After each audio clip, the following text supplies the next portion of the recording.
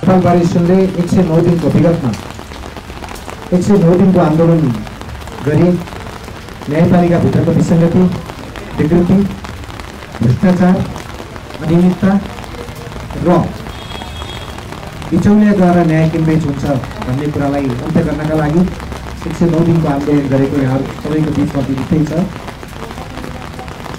करिब एक वर्ष भयो गोला सिस्टमको आधारमा सर्वोच्च अदालत चल्यो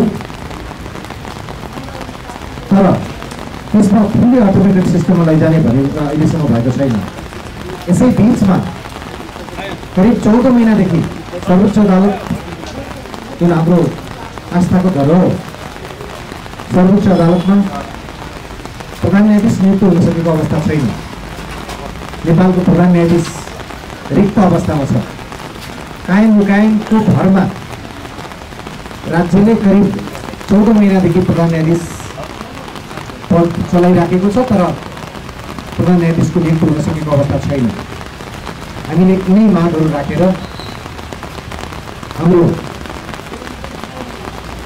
गत हप्ता भएको केन्द्रीय कार्य समितिका सल्लाहकारज्यूहरूको बैठकबाट हामीलाई सल्लाह अब हामीले सिम्बोलिक रूपमा यो आन्दोलनको अभियान आज देशभरि सञ्चालन गरेका छौँ।